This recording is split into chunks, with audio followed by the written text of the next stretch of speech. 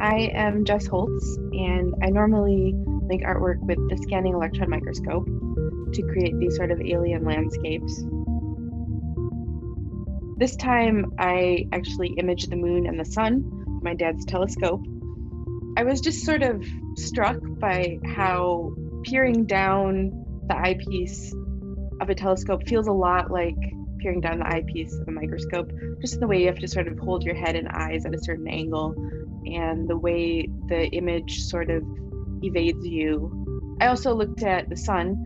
So um, this is just through my cell phone through a filter.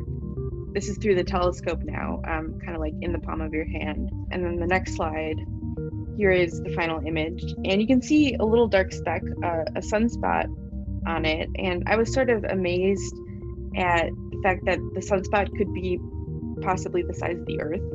Now, in microscopy, you see a lot of junk, um, like maybe little dark specks or, or a lot of debris, but usually these things are like 100 nanometers and you know very inconsequential.